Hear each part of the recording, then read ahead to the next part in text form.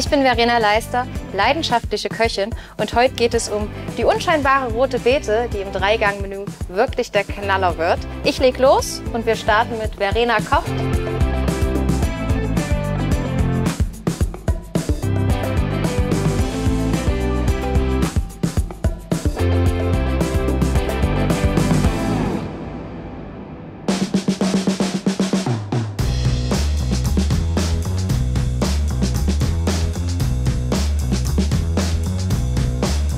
Beim Taarteig müsst ihr alles ganz schnell miteinander verkneten, vor allen Dingen nicht zu lange kneten.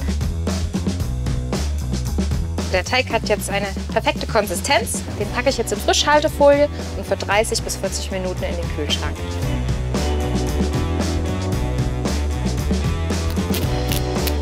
Jetzt können wir auch schon ausrollen. Ganz wichtig, immer von der Mitte nach außen. Weiter geht es jetzt mit unserer Füllung für die Tat. Dafür brauchen wir rote Beete, eine rote Zwiebel und Rucola.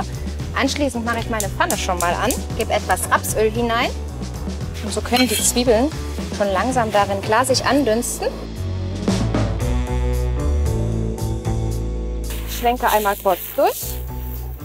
Etwas Pfeffer dran. Die soll jetzt keine Röstaromen bekommen. Alles vorsichtig nochmal umrühren. Jetzt nehme ich meine Füllung, die packe ich jetzt hier vorsichtig rein, vorsichtig und leicht andrücken.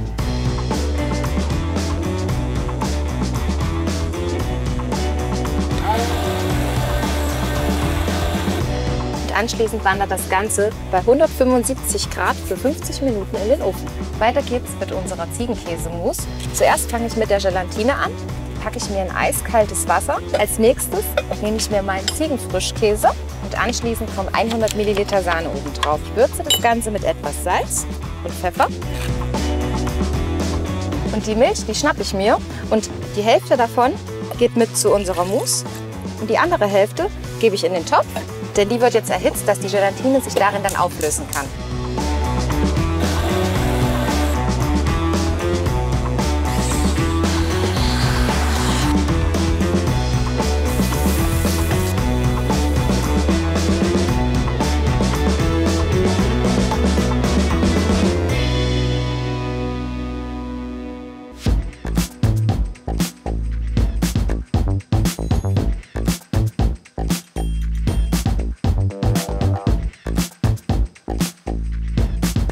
Legen los mit dem Teig. Mehl, etwas Mohn, eine Prise Salz, drei Eier hinein. Die schlage ich mir direkt in die Mitte und drei Esslöffel Olivenöl. Das geht jetzt in den Kühlschrank. Wenn ihr keine Pastamaschine habt, könnt ihr auch mit viel Muckis äh, mit dem Nudelholz rangehen an den Teig. Jetzt geht es an die Füllung von unserer Pasta.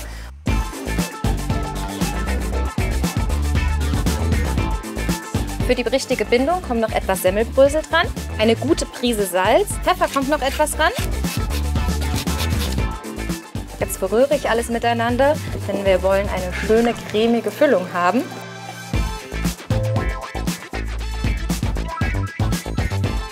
Es fehlt nämlich noch unsere wunderbare Gewürzbutter und ein paar Birnenspalten. Und mit denen fange ich gleich mal an.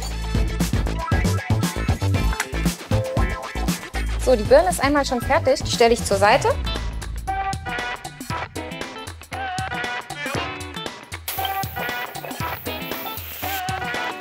Ihr müsst was nachkochen, es riecht so gut.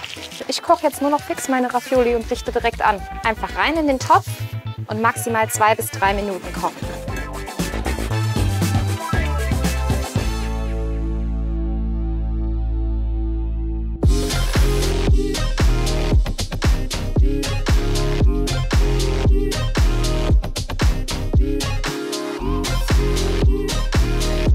Ich habe hier rote Betesaft, der kommt in den Topf, 120 Milliliter Wasser, relativ viel Zucker, zwei Zimtstangen und den Saft einer Limette. Und das Ganze muss jetzt ca. 20 Minuten zu einem schönen Sirup einkochen. In der Zwischenzeit mixe ich die rote Beete.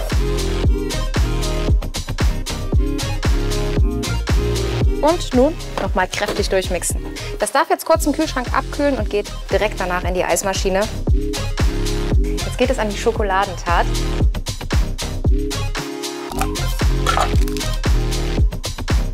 Den Herd einmal abdrehen. Wir nehmen uns jetzt die Eier und äh, schlage die einmal ordentlich auf. Ich gebe den Zucker jetzt ganz, ganz langsam da rein, nicht auf einmal. Zwei Esslöffel Mehl und dann war es das schon. Das wandert jetzt in den Ofen bei 180 Grad für 20 Minuten. Kleines bisschen Deko darf nicht fehlen. Ich habe hier Ricotta, dazu kommt etwas Puderzucker und noch das Mark einer Vanilleschote. Fertig ist mein Sorbet von der roten Beete mit Zimt und eine Schokotat mit Himbeere, dazu eine Nocke von Ricotta und Vanille. Wenn euch das gefallen hat, dann lasst auf jeden Fall ein Like da. Schreibt mir was in die Kommentare, was euch immer auch inspiriert hat. Für mehr Content klickt auf jeden Fall auf den Kaufland-Kanal und abonniert den. Bis zum nächsten Mal.